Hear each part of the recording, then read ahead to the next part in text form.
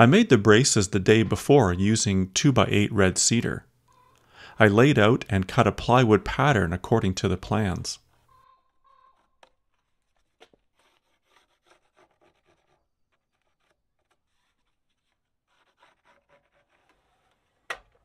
I traced the pattern, then cut opposing 45 degree angles on the miter saw. This ensures the brace will be 90 degrees.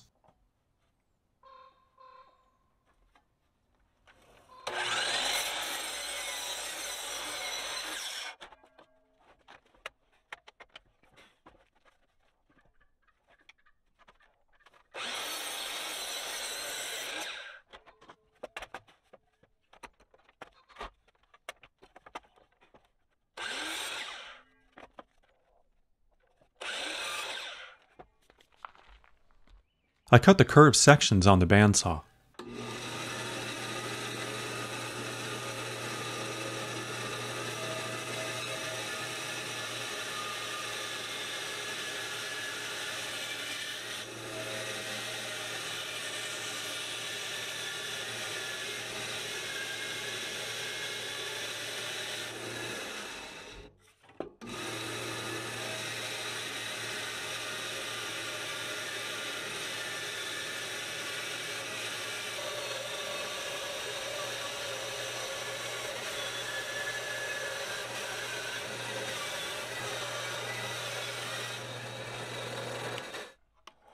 I sand this cut smooth with a small hobby belt sander.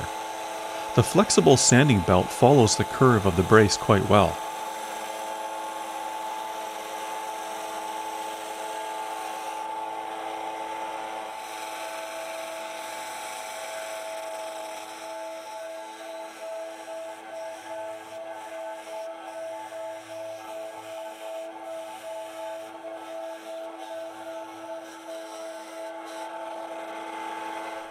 The braces will be attached to the shed posts and beams with a long lag bolt at a 20 degree angle. This will help pull the brace tightly into the corner. I tilt the table of my drill press to this angle. Mark the hole center and clamp some simple stops to the table to hold the pieces in place. A countersink with a Forstner bit drops the head of the bolt neatly below the surface.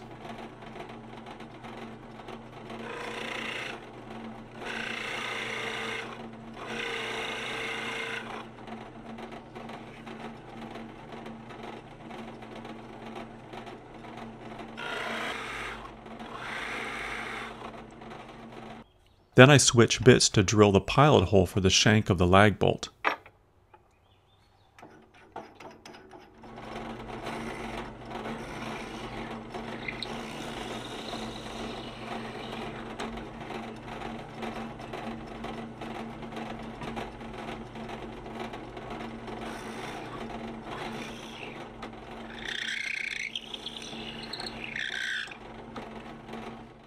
Using my angle grinder with a sanding disc, I bevel the edges of each corner brace, except the edge that mates with a post, girt, or beam, so all the outside edges.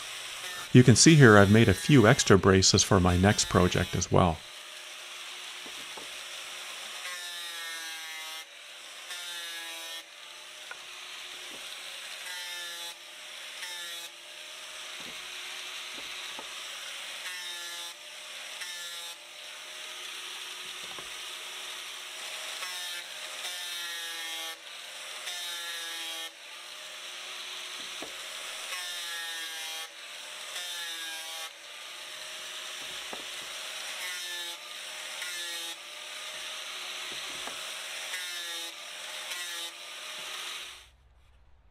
I mark the post and beam 1 inch in from the outside edge to guide the brace location. I hold it securely in place and drill into the post and beam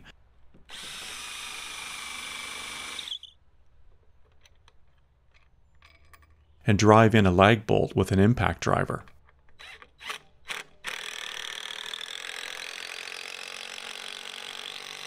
For this project, this simple brace is more than enough to give the structure rigidity. A brace with a proper tenon that is mortised into the post and beam is always the best option, But for this small woodshed, I think a flat mounted brace with a long angled lag bolt is enough.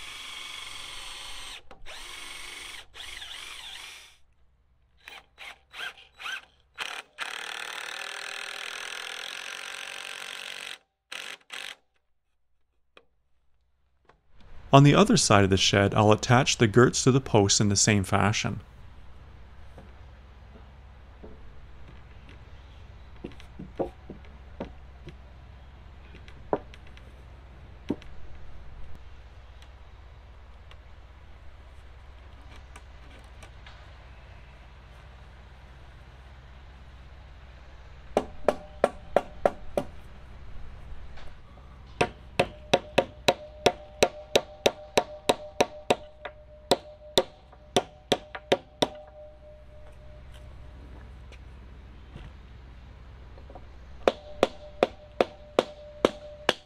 I countersink and secure the lower girts to the posts with lag bolts.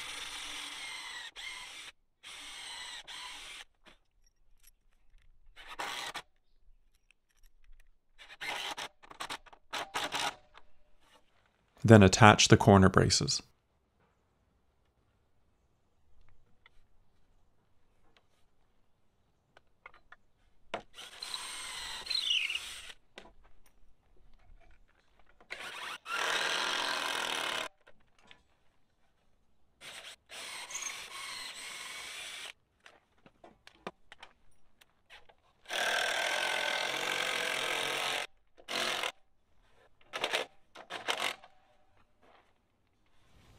At this point, I'll apply two coats of a semi-transparent stain with a small roller. This green color will match the paint on the house. It's easier to stain the frame now than later when the roof and walls are on. I try to pre-stain as much as possible or when it's convenient. Now I'll select the long front and rear beams and cut them to length. They are a bit too big for my miter saw stand, so I'll cut them with a circular saw. I mark all four sides with a square, make four cuts, then finish off the middle with a handsaw.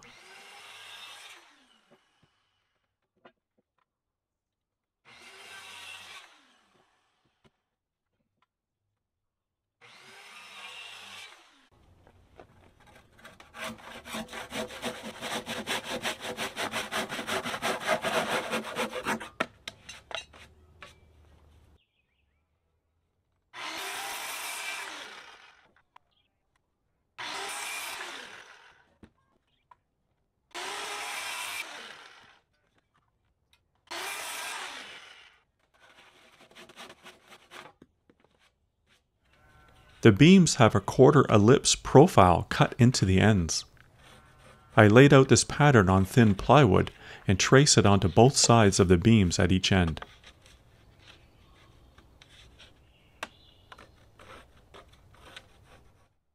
I measure the distance between the posts and transfer these dimensions to the beams. I want these beams to sit down on the post by an inch. I'll cut these wide grooves with my circular saw and clean them up with a chisel.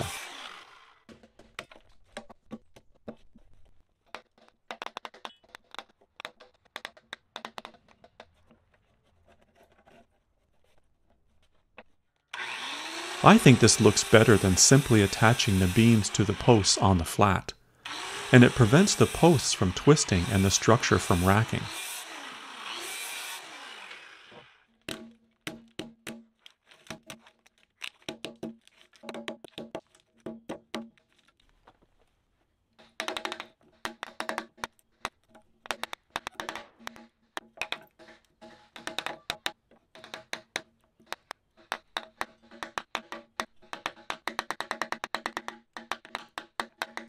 Sometimes you run into a knot and it just takes a bit longer to clean up the slot.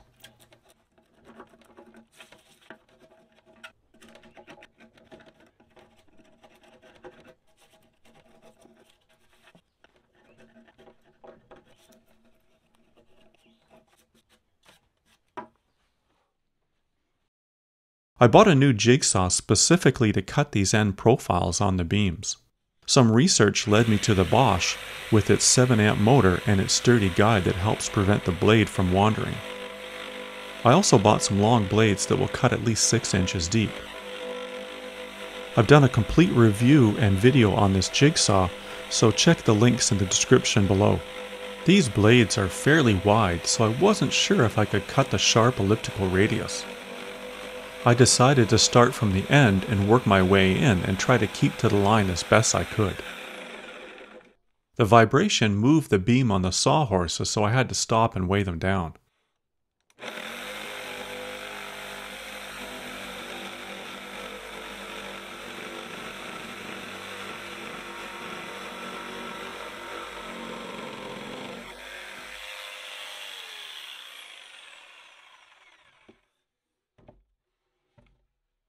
I was happy with the result and I only had a small degree of wander or push off.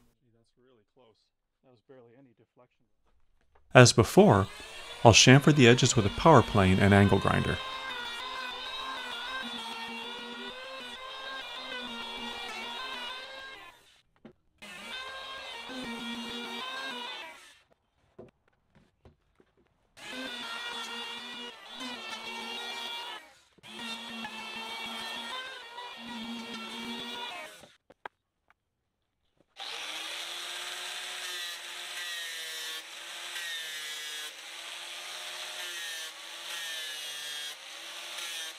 The beam's attached to the posts with a long lag bolt. I'll countersink the head with a Forstner bit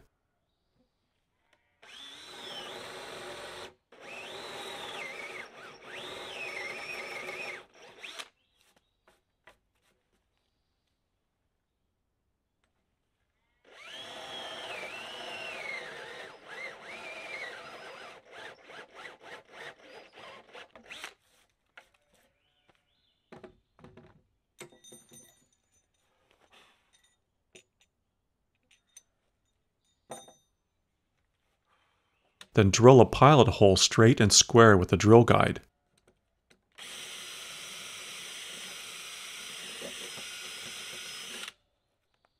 Then finish with a bit slightly smaller than the bolt shank.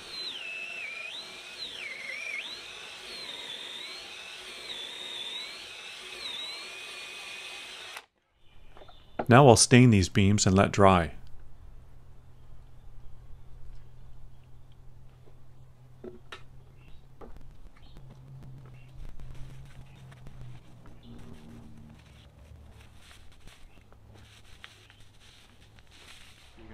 To place the beams, I enlisted the help of my wife Marilyn.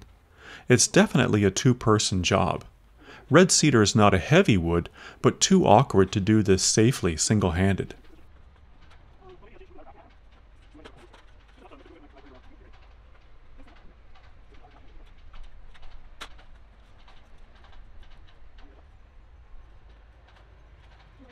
The rear beam fell into place easily,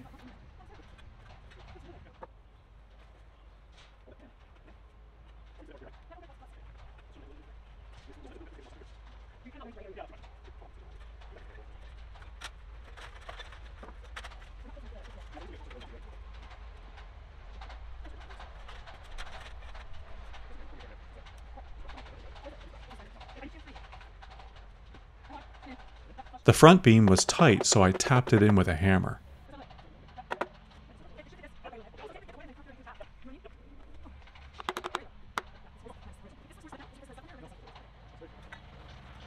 Thanks, Marilyn.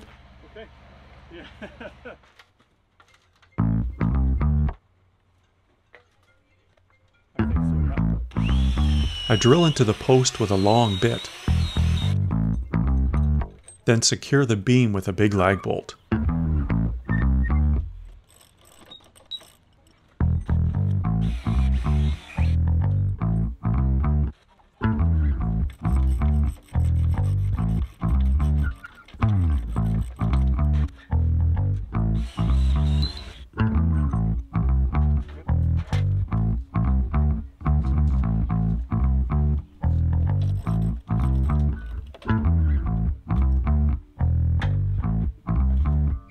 Next I'll attach the braces to the posts and beams.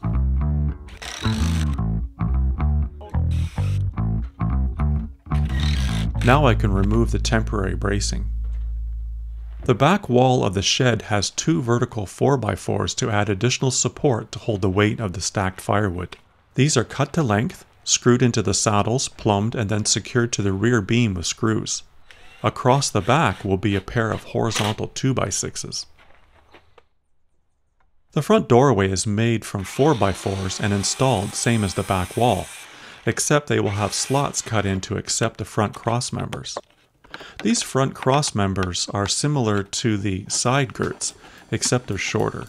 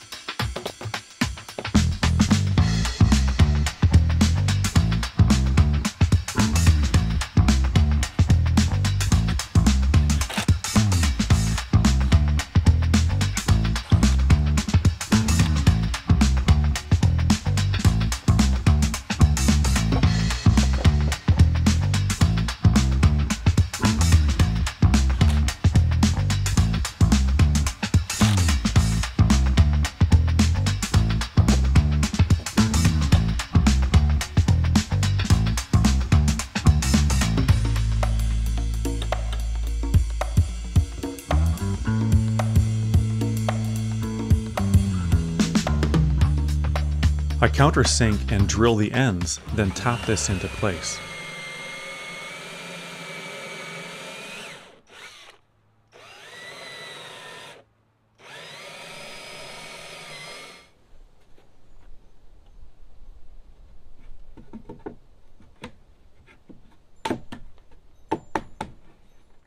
Then drill into the posts and run in some lag bolts.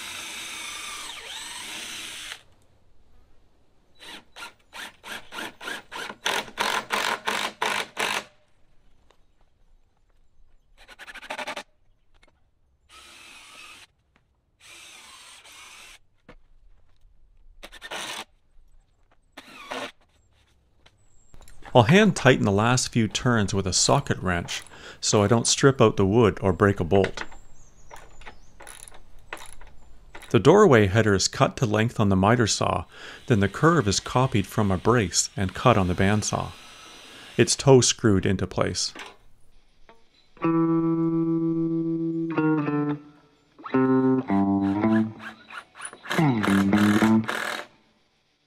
Thank you for watching part 2 of this project. This is Kent from Man About Tools. If you like what you see on our channel, give us a thumbs up and subscribe if you haven't done so already.